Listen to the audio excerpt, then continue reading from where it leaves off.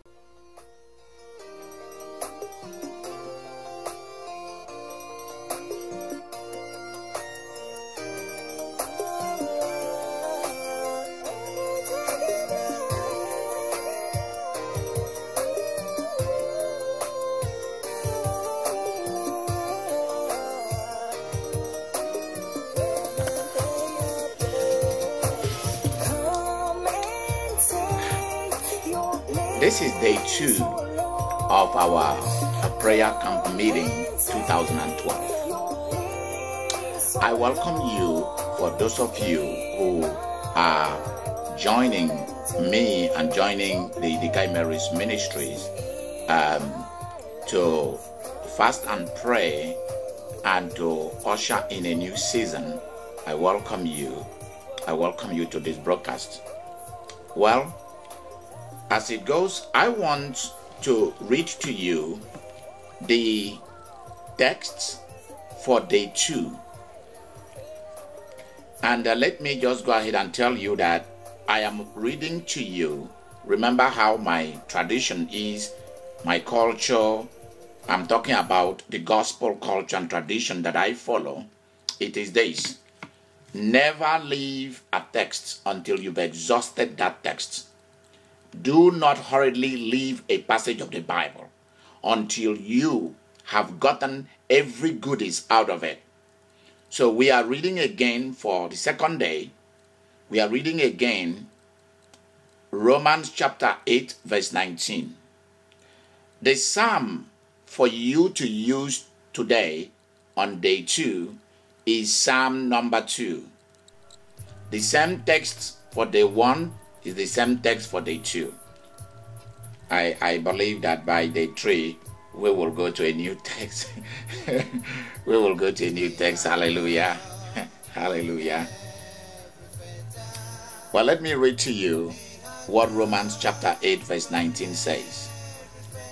And by the way, some of you will wonder and say, why doesn't this guy use a new text for day two?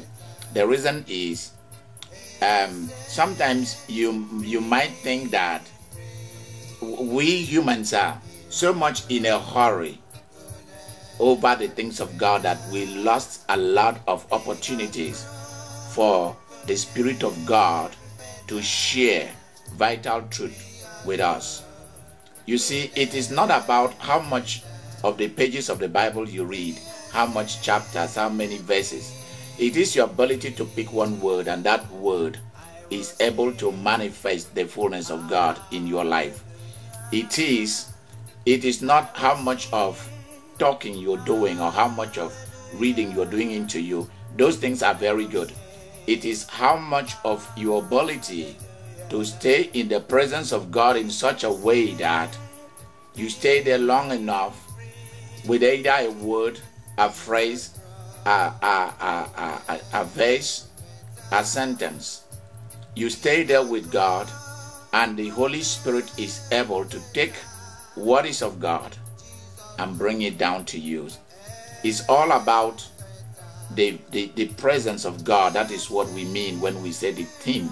The theme for this um, for this uh, prayer camp meeting is manifest the fullness of God. You cannot manifest the full of the fullness of God by yourself. You know that it is not true that you can manufacture the things of God all by yourself. It is what God has to initiate into your life. It is not something that you can just go out and say, I want to be this, I want to do that.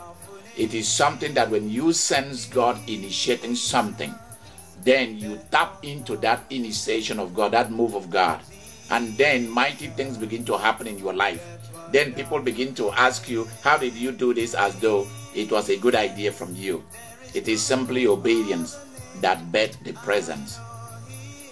So, uh, for those of you who wanna fast, who wanna who wanna spend longer time in in prayers and in fasting throughout this second day, October the 20th, please use Psalm number two to occupy you more. Okay, let me read to you Romans chapter 8, verse 19. It says this. It says, I'm reading it from the Hebrew Bible in English, without no translation tools. This is what it says Creation has a premonition uh, for the unveiling of the sons of God. Creation has a premonition for the unveiling of the sons of God. Let me read to you in Old English. It says, For the earnest expectation of the of the creature instead of creation is a creature waits for the manifestation of the sons of the living God. God bless to us the reading from His holy word, and unto His name be the praise and glory, both now and forevermore. Amen. Amen. The topic for today says, Do something about your situation now. Do something about your situation now. A lot of people wait until things get out of hand before they do something about it. Why do you want to wait until you are at the point of your death? That's when you want to attend university. Why do you want to wait until when you've given the best part of your life away? That's when you want to enter into ministry and serve God. Why is it that when you saw certain move, certain steps by your mother-in-law, your father-in-law, you did not call your husband or your wife and said, this move, there is something suspicious about it. Why is it that when you saw the kind of going in and going out by your wife or by your husband that you were not able to sit either him or her down and said, Darling, we need to talk about this thing. Is there anything I'm doing wrong? Is there any way I'm not giving you the fullness of attention? And the issue will have been addressed at that point in time. You see the footstep of going in and going out by your son and by your daughter. You saw a car parked out there, and the car will always come and pick your son or pick your daughter. And he or she will always give you an excuse of who those people are. You peep through the window and you look at their faces. You can't make out who they are because they have dreadlock. You, can, you are not able to sit them down as an oracle of God, as the administrator of your own house, and look eyeball to eyeballs at your son and daughter and said, We need to have a discussion about this. There are certain things I do not like, and I want them to stop. Sooner or later, when you refuse to do something about your situation immediately, Peter J. Daniel talks about mastery over procrastination. Do it now. If you're not able to tell your daughter or your son, this is the time you need to wake up and you need to get prepared and go to school. If they keep giving you different excuses day in, day out, pretty soon they know they will not be able to finish high school they will not be able to finish college. Have you been able to sit your family members down and let them know the reasons why what you're telling them they need to do it?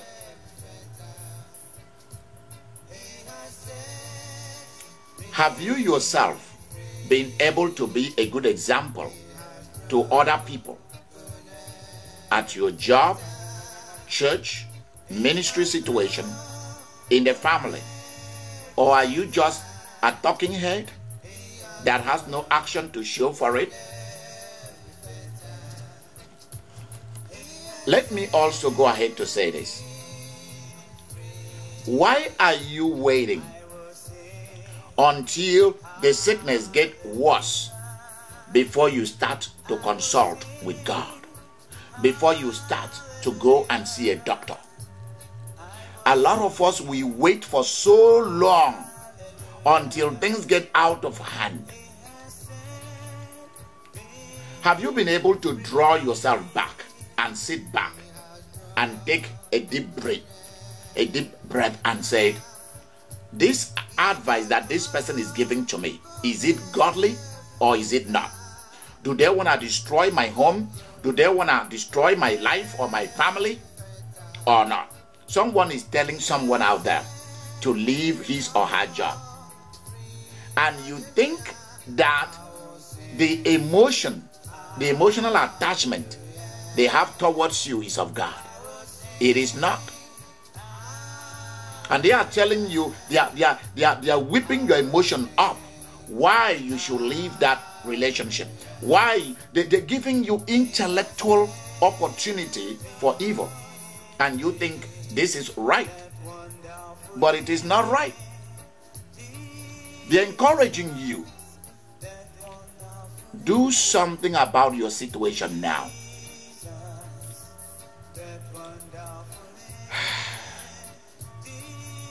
When your son began to talk back to you in a very indiscriminate and violent way, what did you do about it?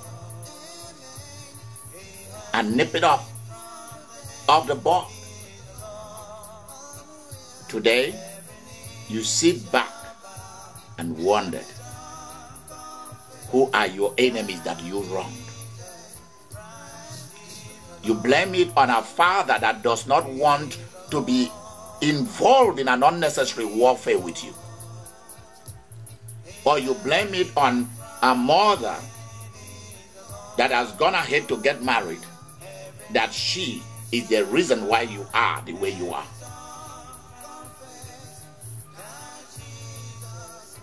When you began to hear voices inside you, what did you do about those voices? When you began to see shadows in your dream of people coming to have sex with you in your dream, of people taking you to the water, of you flying in the air like a witch, of people taking you to where they are doing some voodoo stuff, what did you do about it? when one person died in your family through accident, another person died through cancer, another person became lost his job, another person his family broke down. What did you do about it? You thought they were just natural and normal stuff. The text that we read today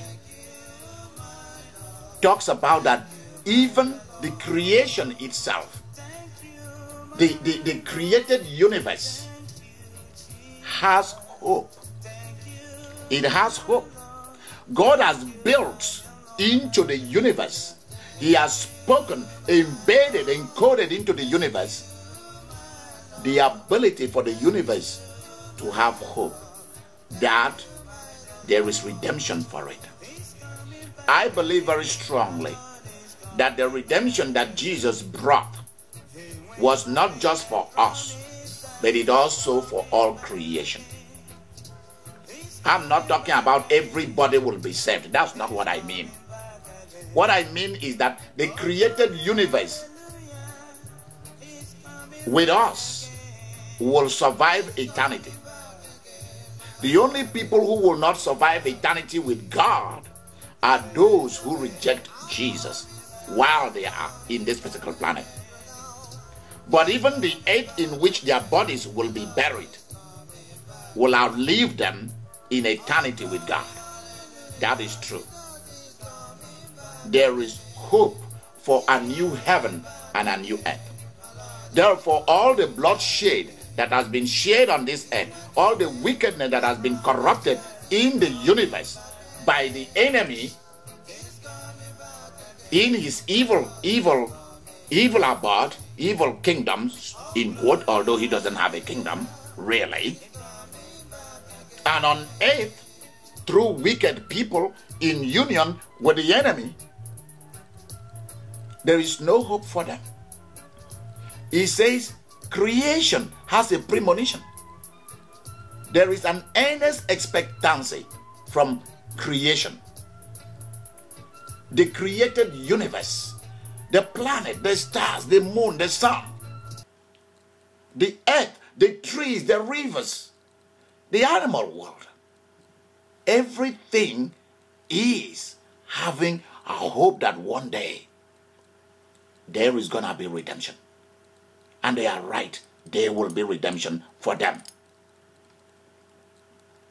Then, it's not just that creation is waiting for God to come and save it. Although Jesus has already initiated redemption for creation itself. And we are part of the benefactors of this redemption.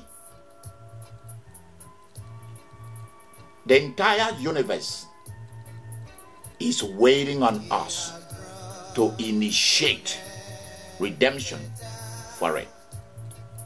That's why you see that when you assume your place as a ruler and as a leader in any way that you live, in the geography where God locates you, you will realize that the environment changes because you live in that place because you bring the things of God, the life of God, to the universe around you. That's how it is. Many of you do not have hope. If the universe has hope, why is it that you pray to God, yet you do not have no hope? The universe has hope. Why is it that you do not have hope? And you are praying, you are participating in praying to God to get your problems solved. But do you have hope that God is listening to you and that God is doing something about your situation? And that on the cross, He's already done something about it. And you have to reenact and bring about and manifest what He's already done for you. Next thing that I want to bring to your remembrance today is the issue of sonship. We are the sons of God, manifesting, will be manifested, is already manifested. What does it mean to be a son? It means that you belong to the house. We belong in a government of God that is theocratic, where God rules. I belong to a kingdom. There is a king. There is a king. I live in America. Obama is the president of our nation. Goodluck Jonathan is the president of the nation that I was born. But I live in two different. Now I live in. let me put it this way I live in two different planets. I live on planet Earth, and I also am a citizen of planet Heaven. This is true, and that's true about you. I belong to a kingdom in which God has dominion. I am under his dominion. That is why a lot of people do not get their prayers answered they do not get their needs met because they just want a quick prayer. And then they don't want God to really be involved in their lives. If that is your kind of lifestyle, that might possibly be the reason why your prayers are not being answered. Is you want God to have something to answer your prayer, to, to release his force, his ability, his goodness into your life, but you do not want him to be involved with you on a daily basis. For me, look at how my prayer has been this day. Lord, my gift is not enough. the gift you've given to me is not enough. I need you to follow me so that I can follow you in obedience. My giftedness is not enough. My education is not enough. My family is not enough. My friends, they are not enough. I need you to visibly, tangibly follow me in this world. Then the gift will be a blessing to people. Then it will be easy for me because you will initiate things that I do. Those things that you initiate will be easier for me to do. Kenneth E. Hagin talks about when when the glory of God comes into his meetings, all he needs to do is wave his hand and things begins to happen. But with the anointing and the giftedness, you, you do a lot of things. You walk it up. You do a lot of singing, a lot of stuff for things to happen. That is why a lot of ministers get it wrong. They now begin to cut corners and begin to fish.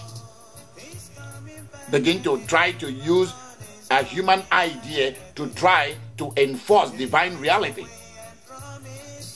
Whereas it should have been that the visible presence of God is there with that person. And then the visible presence kicks in the gift. It kicks in the office. It kicks in the, the visible presence of God kicks in the anointing, which is the giftedness. The ability to operate in your office will be kicked in mightily by the visible presence of God. Sonship means that you have authority. Jesus said, I give you authority. Sonship means you have authority in the house. You have authority to rule. You are a heir, a prince, a princess.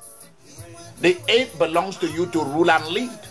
And some of you have given up leadership and rulership. Some of you have chosen to be leaders and forget about ruling. Some of you have chosen to rule and forget about leading.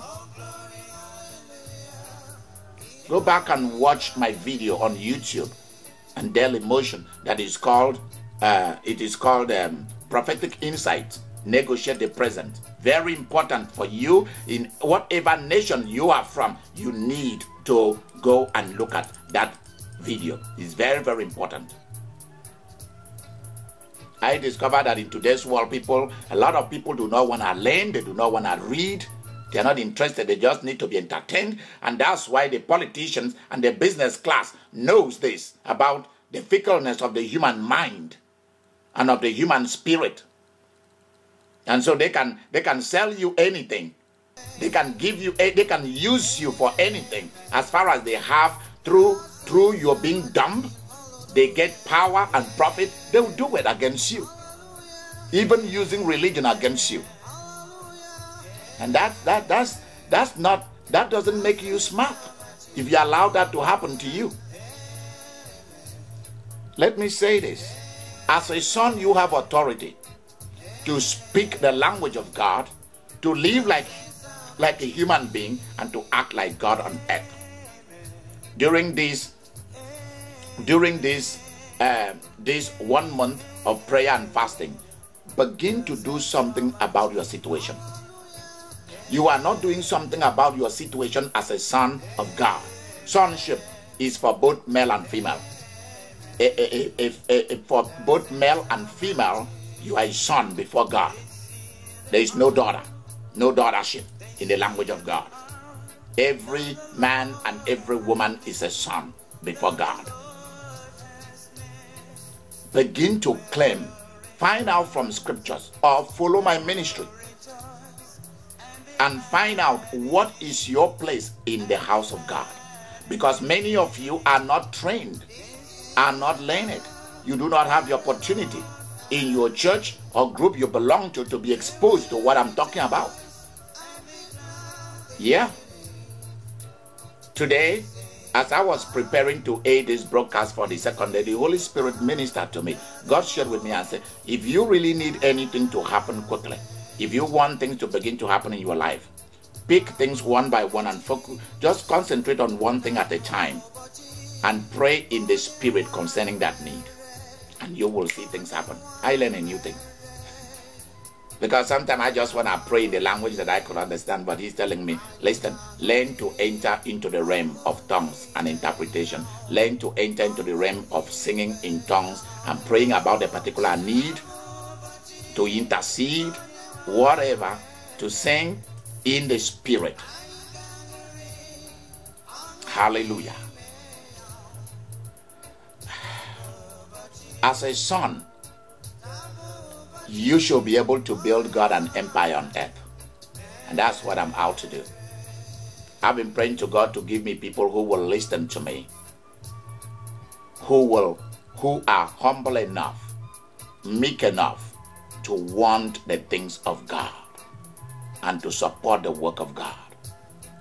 I urge you not to allow your entitlement as a son of God to just lay wasted. There is a lot God wants to do with you. Begin to say to Him, Lord, let your will begin to happen to me. I give you the license, I authorize you to permit your will to begin to visit me. God, make moves for me, for I am a son. And because I'm a son, I am entitled to who you are I'm entitled to your voice. I'm entitled to your things, to your goodness. I'm entitled to your money. I'm entitled to every good thing. I'm entitled to your health. I'm entitled to everything that you have. You have. Whatsoever God has belongs to you. I want you to do something about your situation. Change your situation now. Do something about your situation now. And if you do not know how to be a son of God, hear what the Word of God says in the Gospel of John. As many as received Him, even to those who believe in His name, He gave them the authority to be the sons of God. Some translation says the children of God. Now I want to begin to minister to you. Eternal Father, there are so many people in hopeless and helpless situation who do not know what to do with their life. People of God, as I'm praying right now, I see a light appear. I see a light appeared in front of me. So that means God is present. Hallelujah. So the prayer gonna change. Lord, let your will begin to manifest on the earth over these loved ones who are watching this broadcast and participating in this fasting and prayer with me in this camp meeting. Lord, I begin to pray and thank you for your visible presence, O Holy Spirit. Move as you wish. Minister to people in their different needs around the world disease, I bring you under the name and the blood of the Lamb of God. The blood of Jesus. I call on the blood to defend and to speak on our behalf. I call on the name of Jesus to speak and to defend us. I call on the blood and the name of Jesus to move on our behalf. Hallelujah. Lord, I begin to worship you. Hallelujah. Glory be to God. Hallelujah. Every disease at the sound of my voice, I bring you under the feet of Jesus Christ every hopeless and terrible situation, I bring you under the feet of Jesus. I release you who is watching me from every dominion by the enemy. And I command you to be set free by the name and blood of Jesus. Amen and amen. We thank you, God, for what you're doing. Now, I will see you on day three. Please, if you are following me on this prayer camp meeting from today, Friday, October 19 through November 19 because you have a need for God. You want to dedicate yourself to God. You want to become obedient to God. You want God's will to begin to happen in your life. You have needs that only God can solve. Write to me and let me know that you are following what I'm doing because that's the only way I'll know you are. Or call or email me. Our information, uh, you will see our information at the end of this program, of this event uh, for today. I will see you on day, on day three. And God be with you. And this is Idika Agui Imeri saying to you, God bless you and visit you. In Jesus' mighty name.